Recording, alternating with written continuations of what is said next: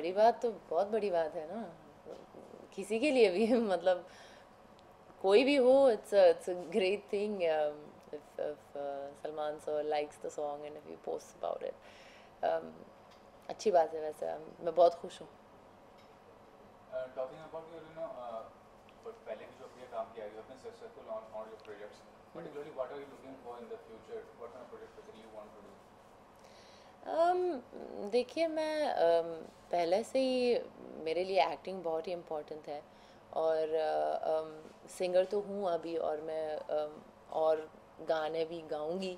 पर ऐसा नहीं है कि मुझे एक्टिंग को छोड़ना नहीं है। वैसा एक कोई था कल uh, मुझसे पूछा था कि uh, तो अभी से सिर्फ़ singing and I am like नहीं बिल्कुल नहीं। I mean I am an actor I am first an actor and I love to act so आगे also I would love to do the kind of projects that I've been doing like um, be it a sacred games be it a be it a made in heaven um, a film like Sangeen or um, you know Abhay was also really great for me. So um, acting is um, acting is my passion and um, that will be the main focus for the future. You know belonging from Iran I mean uh, when you were a child uh, what was the environment पागलपन बहुत है Iran में Bollywood movies के लिए। Actually अभी तो ये जो नए नए मूवीज़ है, वो लोग नहीं जानते हैं ज़्यादा। But like old movies like Sholay और समथिंग और like actors like Amitabh Bachchan ji Aishwarya Rai you know the older generation and all that's it's it's that that was also mainly the reason why I started watching Bollywood movies because my parents were watching those. So um, Iranians love Bollywood movies a lot. So what was the first movie you watched और कैसा था वो अनुभव मुझे याद नहीं है कि फर्स्ट मूवी क्या था but मुझे लगता है कि फर्स्ट मूवी ही शोले ही था okay Sholay was for me the first movie that I watched. After that, I watched so many other movies. And basically, जब मैं जर्मनी में थी um, uh, ये सारे जो धर्मा मूवीज़ हैं, जो कल हो ना हो, कभी अलविदा ना कहना, Kabhi Khushi, Kabhi Gham all of these movies they dubbed in German तब मैं जर्मन में देख रही थी ये सब, और उस वक्त मुझे हिंदी भी नहीं आती थी तो those were mainly the movies that brought me to India. When you first came to Mumbai I mean you know language is an issue आपकी हिंदी बहुत अच्छी है। Thank you. शुरुआत में शायद इतनी अच्छी नहीं होगी तो फिर कैसे शुरुआत में तो मुझे पहले नमस्ते भी पता नहीं था। तो did you मुझे पता नहीं था? कि नमस्ते क्या होता है। How did you manage all these things बस सीख लिया। क्या मैनेज मतलब मैनेज मैनेज तो नहीं कर सकते बस सीख सीखना है ना। I I just started learning the language I started learning reading and writing क्योंकि मेरे लिए इम्पोर्टेंट था कि मैं पढ़ भी सकूँ। Um, Devanagari.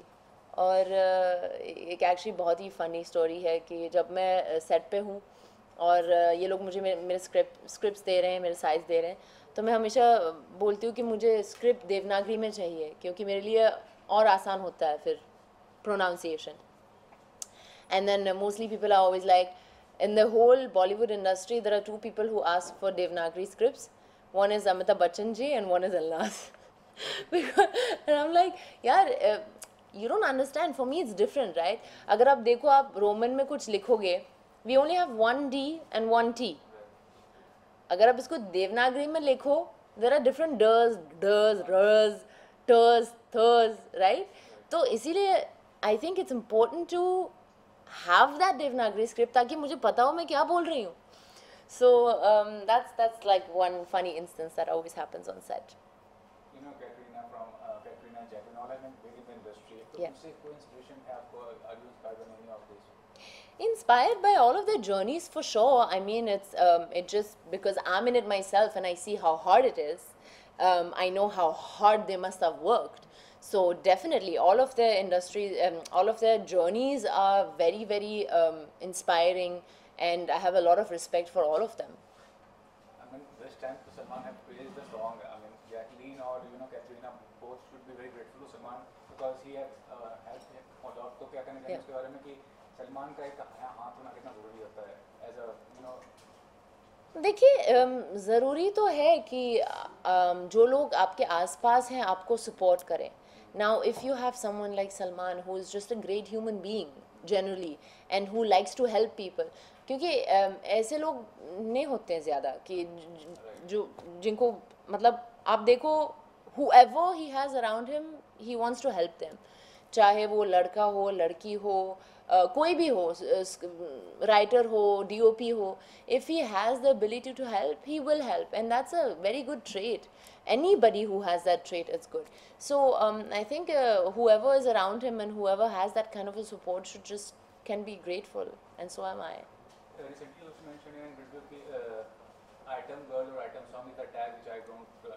like to hear. I mean मुझे पसंद नहीं है. Any particular reason for it? Hmm. नहीं ऐसा ऐसा नहीं कि मुझे पसंद नहीं है किसी ने पूछा था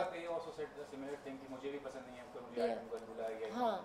uh, um, uh, see, this is the thing, right? People like to tag things, which I d- don't think it it makes no sense. And ये tagging सिर्फ़ इंडिया में होता है कहीं और नहीं होता है तो मैं बस ये बोल रही हूँ कि टैग क्यों कर रहे हो? मतलब आइटम का नंबर क्या होता है वैसे? Item girl like if you if you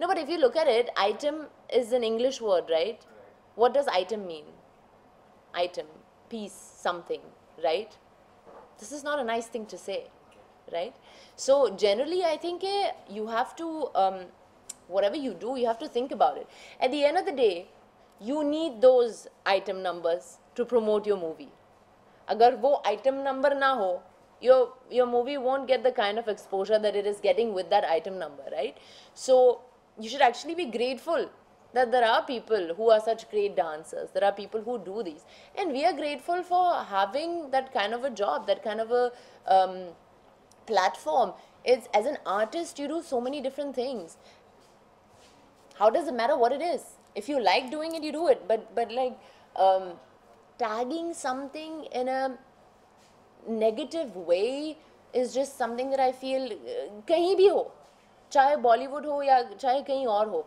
it's just not, not it's not a nice thing and I don't see a reason for for that Now you're also very well trained and well educated, so that is a ve- very um, a big factor for you. तो वो कितना जरूरी होता है कि when you are planning to do something in life, taking education, taking training,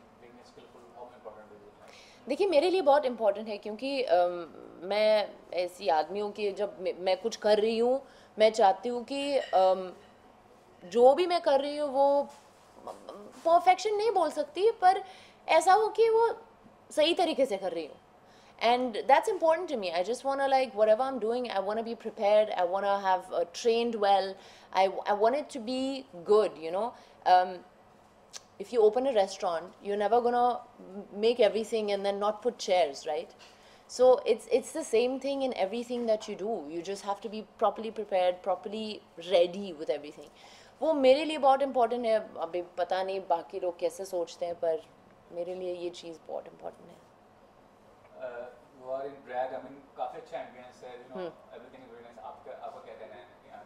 I, I think it's very sweet. I really like these chandeliers. I just saw them. जब मैं आई थी ये बंद थे तो बहुत ही डार्क लग रहा था मुझे। पर इन लोगों ने फिर ये चैंडलियर्स ऑन किया ना। Like these are really cool chandeliers so I am really liking the vibe here lastly asking what is that dream kind of project you want to do dream role something you have देखिए दो dream roles हैं मेरे लिए। एक तो I love doing thrillers a role that has a lot of layers where you like think oh my god this girl is so sweet and then suddenly you see how crazy she is you know like something like gone girl i really love something like that and then um, i have started working um, on uh, mixed martial arts. I'm doing mixed martial arts now. Um, I, I'm really hoping and dreaming of uh, an action um, role. So that's why I've started doing that so that if I ever get an action role, that I'm prepared enough, as we were just speaking about preparation. Um, yeah, action and thrillers are something that I really, really want to touch. Thank you,